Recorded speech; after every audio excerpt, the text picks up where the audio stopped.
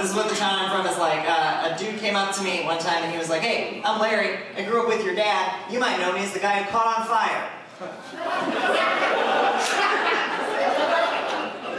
I didn't, and he just walked away. Into a furnace? I don't know. Like, are you a monk? I need an explanation.